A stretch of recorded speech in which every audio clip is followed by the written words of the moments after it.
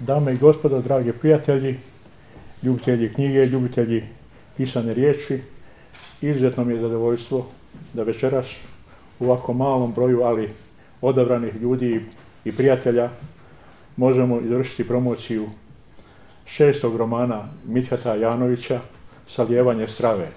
To je jedna priča koja je uh, jedan, jedna hibridizirana priča koja se sastoji od nekoliko različitih diskursa.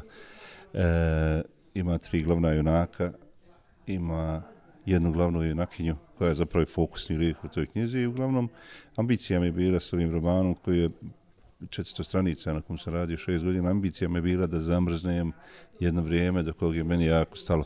Znaš, ništa nije na ovom svijetu vječno, jel?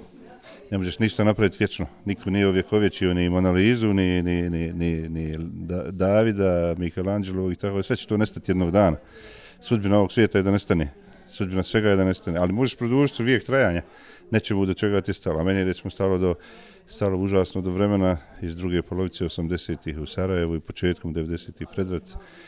Kad sam ja bio mlad i kad je taj svijet u kom sam živio izgledao fenomenalno, pogotovo kad ga sad obojiš, obojiš nostalgijom sa jedne vremenske distance i nakon što se to sve promijenilo u jednom kolapsu.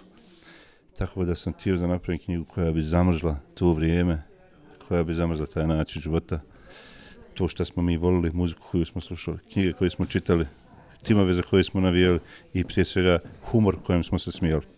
Mislim da knjiga, odnosno šesti roman Mithata Janovića, Saljevanje strave, je jedna izuzetna knjiga po, po svemu. Takvu, takvu knjigu ja do sada nisam imao prilike da, da čitam i da iščitavam. To je o, knjiga koja je o, koja je u, u suštini jedna priča o tri, tri čovjeka i tri različite nacionalnosti, ali e, sve, sve što se u knjizi događa, događa se uh, na jedan način promišljanja da, da, da, da čovjek je uvijek u nekakvom stanju gubitka. Tri glavna lika, to koji su zapravo jedan čovjek, ali su razvojeni na tri dijela, ko što je sve u Bosni razvojeni na tri dijela, pa sam ta pa sam, knjiga, se zapravo, knjiga je zapravo krenula od ideje šta bi se desilo, kako bi bilo kad bi se istog dana, u isto vrijeme, na istom mjestu u Bosni i Hercegovini rodili jedan Srbin, jedan Bošnjak i jedan Hrvat koji imaju isti genetski sastav i oni su se rasporodili početkom 1960. i živjeli su svoj život.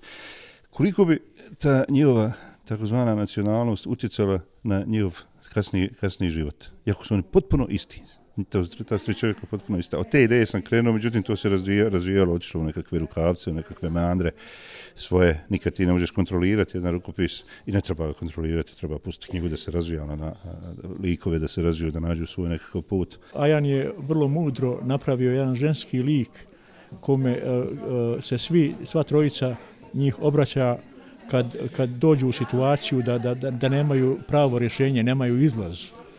Mislim da e, lik se, taj ženski lik se zove Una i to je e, po, iz mitologije, slavenske mitologije, e, dobra, dobra, dobra, rekli bismo, vila ili dobra žena koja, koja brine o, o ljudima koji dođu u neko stanje kada kada e, ne znaju šta će sa sobom da a, a da ne izvrše ono da ne urade ono najgore što je. Onaj fokus sve njih sve trojice su zaljubljene u, u nju ona nije čovjek ona nije ljudsko biće ona je posljednji pri, pripadnik plemena dobrih iz srednjovjekovne Bosne to je jedno to su pola ljudi pola vilenjaci to su stari mitovi koji sam slušao kad sam kad sam bio mali mali dječak moje porijeklo je tuda isto iz istočne Bosne oko Žepe tako da ja znam taj kraj više posjećanje nekom maglovitom, jer sam djetinjstvo tamo proveo.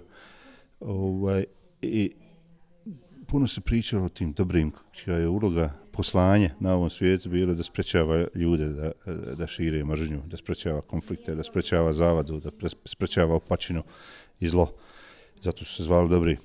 Čak se nalazi u nekim, nekim povijesnim, povijesnim eh, knjigama da se spominju dobri to, to neko pleme da je bilo nekad u, u, u, u, u srednjovekovnoj Bosni. I ona je posljednji pripadnik plemena dobrih. Ima neke osobine, ona je ta koja saljeva tu stravu, jel?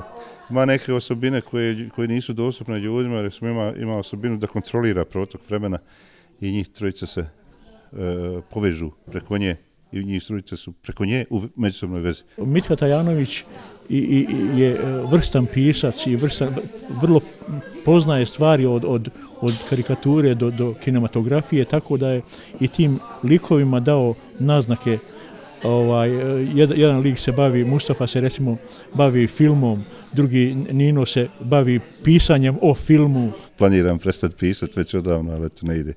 Pa ja, ja počeo napisati još jedan počeo sam pisati mogu ih nije lako izdati knjigu na bosanskom jeziku jer bosansko-srpsko-hrvatskom zbog, zbog situacije u kojoj se nalazi naša kultura, sve to raspršeno, segmentirano, rasp, raspadnuto. Tako ja sam knjigu završio u junu prošle godine, ali treba, trajalo je koliko, 10 mjeseci da knjiga izađe i već unutar tih 10 mjeseci ja sam radio na novom romanu, pa dobro, zvaće se kišno popodne, to je sigurno, a sad da ne pričam o, o toj knjizi dok je ne završim.